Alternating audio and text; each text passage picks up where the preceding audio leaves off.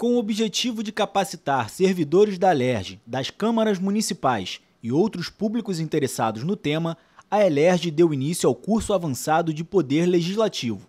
A estrutura, o funcionamento e as garantias dos membros das casas legislativas e a organização do poder legislativo dos estados, municípios e do Distrito Federal serão alguns dos assuntos abordados pelo professor de Direito Constitucional da Universidade Federal Fluminense, Guilherme Braga Penha de Moraes. O curso é um curso avançado sobre legislativo.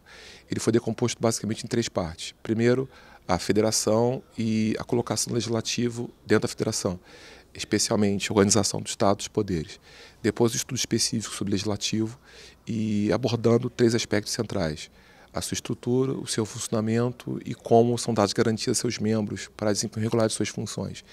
E o último tema pertinente é como a organização dos estados, dos federal dos municípios, levando-se em conta que é um curso especializado para o Estado em relação ao seu poder legislativo. Guilherme destaca a importância de iniciativas como a da Escola do Legislativo, que, diante das demandas por capacitação profissional, promove cursos que abrangem diversos temas. As próximas aulas estão marcadas para os dias 11, 18 e 25 de agosto e 1 de setembro, sextas-feiras, de 9 da manhã até meio-dia.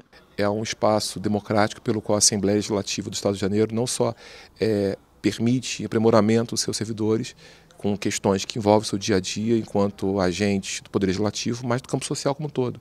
Eu acho que é um curso aberto à sociedade, que permite até noções de cidadania e, enfim, de estudo democrático. Eu acho que o direito constitucional deveria ser muito mais difundido do que ele é, até para que as pessoas tenham conhecimento dos seus direitos, dos seus deveres, enquanto cidadãos. Então, acho fundamental que numa casa legislativa tenhamos iniciativas como essas, que permitirão aprimoramento interno e externo.